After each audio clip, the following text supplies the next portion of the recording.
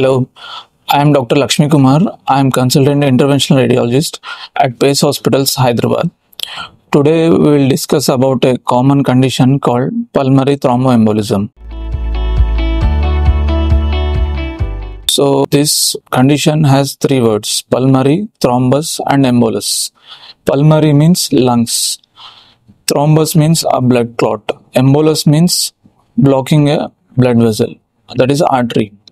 So if a blood clot blocks the lung arteries, then that is called pulmonary thromboembolism.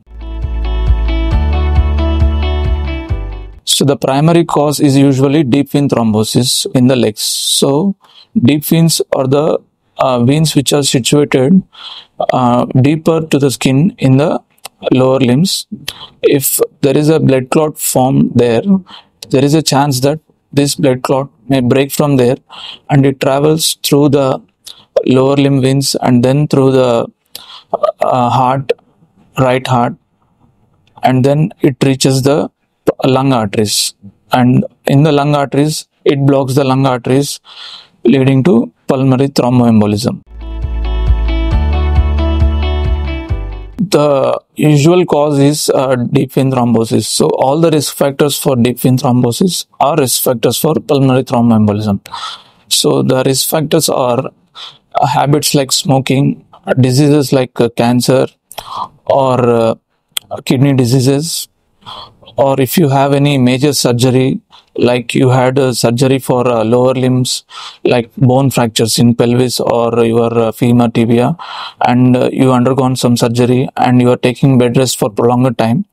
Then there is a chance for uh, blood to clot in the lower limb veins other risk factors like uh, if you are uh, traveling for a prolonged periods without uh, moving your legs like more than six hours you are traveling uh, either air travel or uh, uh, by road travel then there is a chance that your blood in your lower limb veins can clot and it may migrate to your lung arteries.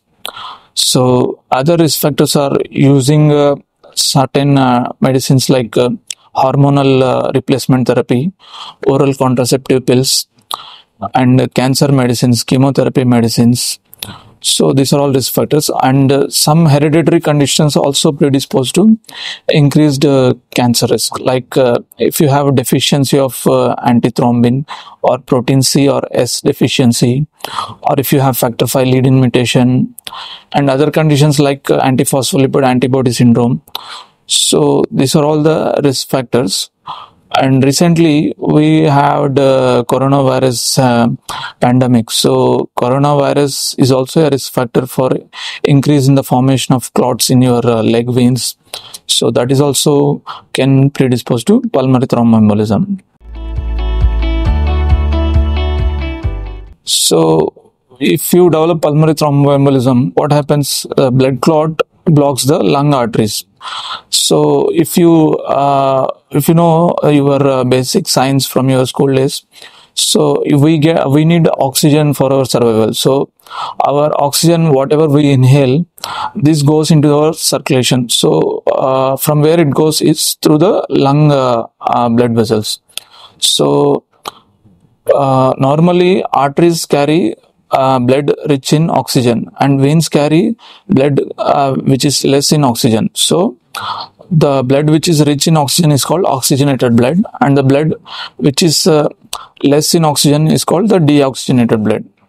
So normally all the arteries in the body they carry oxygenated blood that is rich in the oxygen. So they carry this oxygenated blood from the heart to the other organs like uh, kidney and liver and intestines all the limbs brain even the heart gets its uh, uh, blood supply oxygenated blood from the arteries. The, those arteries are called coronary arteries.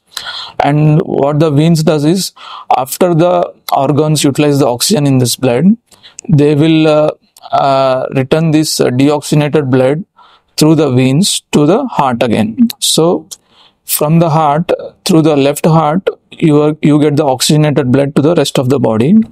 And this deoxygenated blood goes through the veins into the right heart.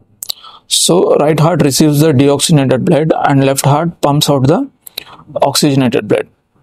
So after uh, the right heart receives this deoxygenated blood this deoxygenated blood is uh, pumped into lungs through pulmonary arteries so the pulmonary arteries are the only arteries in the body which carry the deoxygenated blood. All others carry oxygenated blood.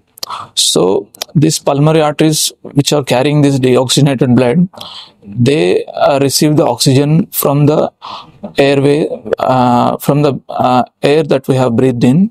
So this mixes with the blood and it becomes again oxygenated blood.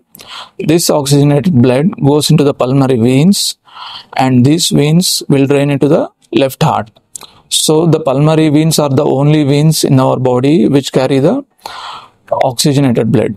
All others carry the deoxygenated blood. So, this oxygenated blood, which is received by the left heart from the pulmonary veins, this goes into the rest of our body.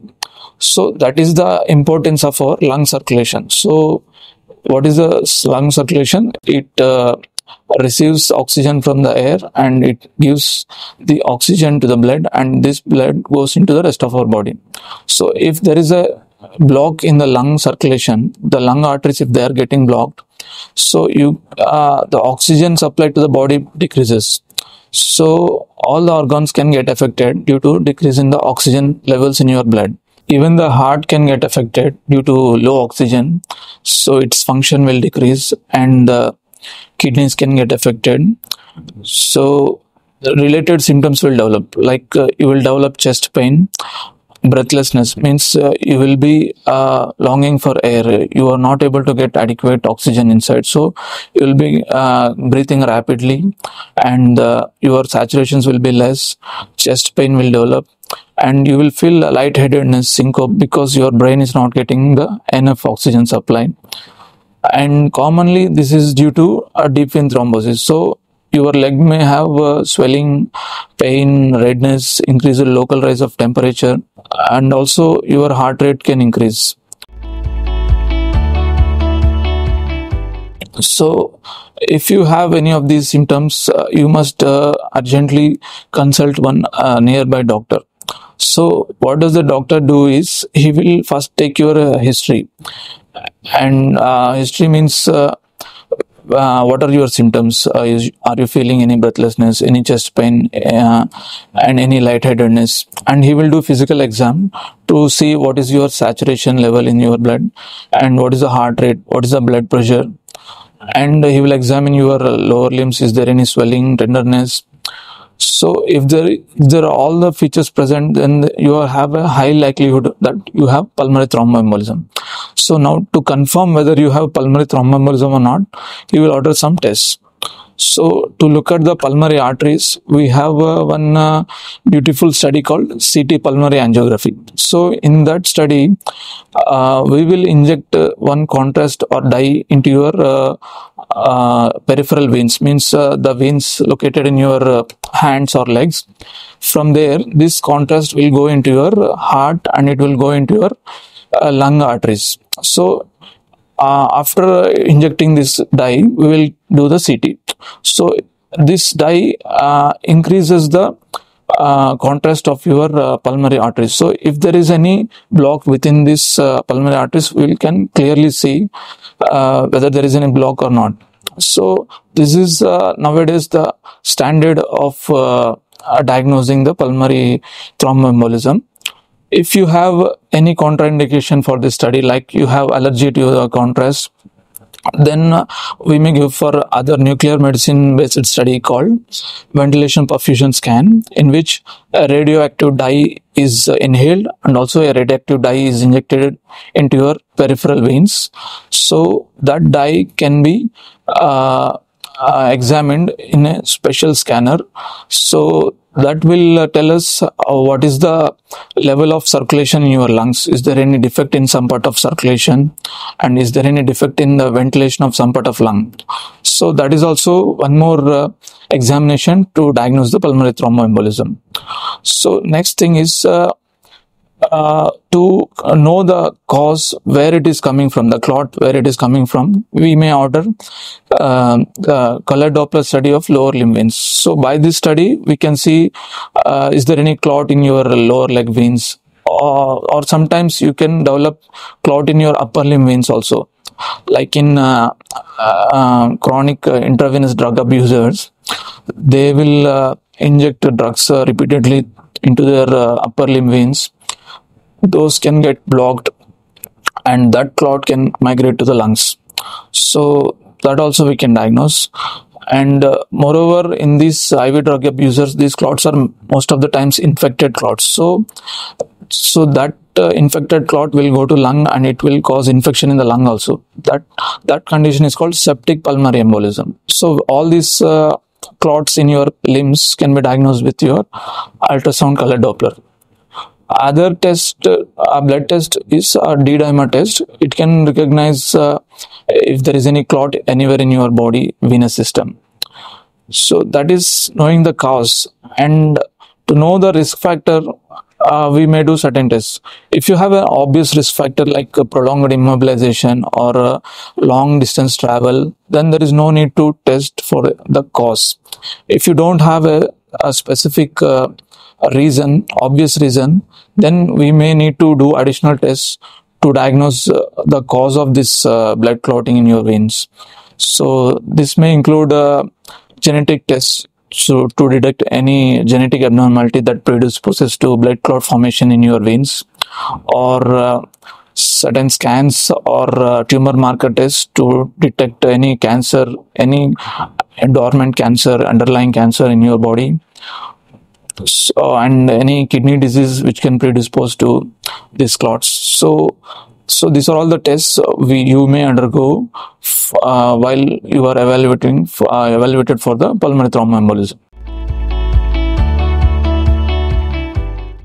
So the main goal of uh, pulmonary thromboembolism treatment is to decrease your symptoms to uh, open those clots. And so the main goal of the treatment is not to make the clots uh, bigger than those are at present.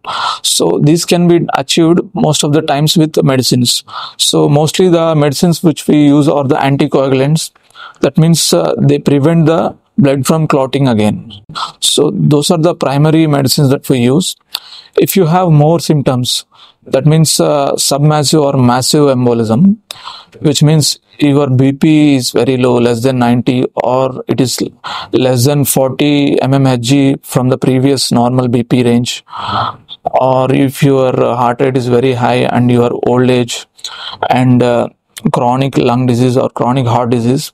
In those cases uh, we may require to give you thrombolytics in addition to the anticoagulants. So what does a thrombolytic does is so it breaks the clot that is formed. So the anticoagulant it prevents a formation of a new clot whereas the thrombolytic breaks the clot that is already formed so but uh, it has some inherent risk this thrombolytics like uh, increased predisposition to bleeding from other organs like brain or uh, abdomen or anywhere in the body. So that's why we uh, uh, assess the risk benefit ratio. If there is a more benefit for the thrombolytics compared to the risk then only we will advise this thrombolytic. So in patients with more severe condition more severe pulmonary embolism who have more uh, bleeding risk uh, with uh, thrombolysis from peripheral veins that is veins in the uh, uh, lower legs or uh, forearms then we may give this uh, thrombolytic directly at the level of pulmonary arteries. This can be done by an interventional radiologist. So the interventional radiologist role is to uh, break a clot if it is a severe pulmonary embolism and uh, the patient is uh, not a candidate for uh, systemic that is iv thrombolysis from a peripheral vein. Then we go up to the pulmonary arteries. The, we inject the thrombolytic there or without using thrombolytic we may suction the clot or we may break with the clot with our uh, spe- special devices so that your block in the pulmonary arteries will decrease and the circulation to the lungs will uh, will be restored again so we do this uh, with the help of a local anesthesia. There is no need of general anesthesia.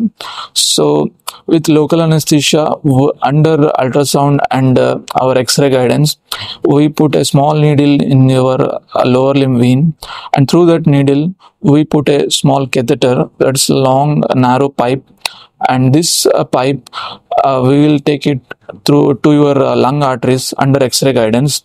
And there once we reach the level of block we may inject the thrombolytic or with the help of catheter we will suck out the thrombus or with our special catheters we can break the catheter, break the clot and thereby we can restore the circulation back to normal in the lungs. So this is the role of an interventional radiologist in the treatment of pulmonary thromboembolism so other treatment uh, which is offered is surgical embolectomy. Means uh, if the uh, patient's symptoms are severe and there is no uh, available uh, treatment from interventional radiologist, means the interventional radiologist is not available, and good surgical team is available. Then you may go for uh, open surgery and they can cut open your uh, chest and uh, open your uh, pulmonary artery. And then they can uh, remove the clot and then suture the artery and the chest wall again. So this is uh, the other uh, treatment that is available. The pulmonary thromboembolism can be prevented by preventing uh, deep vein thrombosis in your legs so whenever you go for a long journey like car travel or a, flight travel or a bus uh, by road travel uh, it is advisable to uh, take a walk every 30 minutes or so. Or if you are not able to take a walk you can at least flex and extend your feet like this. Flex and extend your feet and flex and extend your knees so this is also a, a very good uh, option to prevent formation of clots in your body.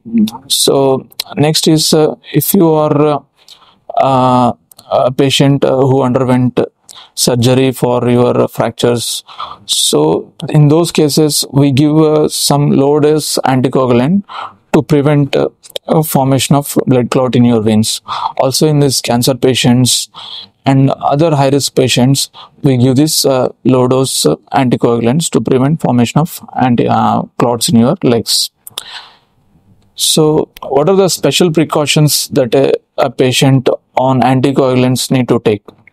So, a patient on anticoagulants is more prone for bleeding even with a minor injury. So, because these anticoagulants they will prevent formation of a blood clot in your blood's uh, circulation. So, even with a minor injury, the bleeding may not stop. So, that's why you need to be careful uh, with your day-to-day activities better uh, wear as much as protective gear as possible like wearing helmets and wearing arm pads and uh, leg pads uh, while you are riding or uh, if you do uh, if you play any sports and uh, uh, using soft bristled uh, toothbrush and avoiding foot injuries by wearing shoes all the time. So these are all the special precautions that you need to take if you are on anticoagulants. And uh, if you uh, by chance develop any injury and uh, bleeding and it is better to stop the anticoagulation dose uh, after consulting with your uh, physician. And uh, immediately you need to consult the nearby doctor and take the necessary advice Yes, it can lead to sudden death. If there is a massive uh, clot in your lung arteries, it may block multiple lung arteries. This can lead to a sudden decrease in oxygen supply to the rest of your body and increase in uh, workload for your right heart. So, uh, if the right heart workload is more, it will get dilated. This may compress the left heart also. So, this can lead to decrease in uh, outflow from the left heart also. This will lead to decrease in blood pressure, and decrease in oxygen supply and decrease in blood pressure can lead to sudden death if the uh, thromboembolism and the clot burden is very massive or severe. if the clot burden is very less uh, then you may not develop any symptoms then it will be uh, treated on its own. Uh, the body has inherent uh, mechanism to lyse the clots to break the clots so it can decrease. And if you have a significant clot burden and you are developing symptoms you may require at least anticoagulants uh, medicines uh, for the treatment we have uh, two types of uh, cholesterol ldl and hdl cholesterol. If the ldl uh, cholesterol levels are more it predisposes to increased clot formation in your arteries. It, uh, it uh, has no or less relation with the veins whereas if the hdl or the good cholesterol levels are low it may predispose to increased clot formation in your veins. So low hdl cholesterol can lead to uh, venous clots formation and thromboembolism. Yes large uterine fibroids uh, can compress the veins which are present in your pelvis. So if these veins are compressed the blood flow in these veins will be decreased and clots can form there. And that clots those clots can go up to your lung arteries and can cause pulmonary thromboembolism. Although pulmonary thromboembolism cannot directly lead to brain stroke in most of the cases a patient with pulmonary thromboembolism, that means a venous clot, it has also a risk factor to develop an arterial clot. For example, if a cancer patient uh, has a venous clot, he also has a tendency to develop arterial clot. So, if there is an arterial clot in the brain arteries, that can lead to brain stroke. So, both conditions can coexist. Brain stroke and pulmonary thromboembolism can coexist in a patient. although you are taking blood thinner you can get uh, uh, venous clot in your legs and it can lead to pulmonary thromboembolism. Uh, how means uh, uh, if you are taking the dose of uh, blood thinner less than that is prescribed that is number one risk factor that you can get clot in your veins.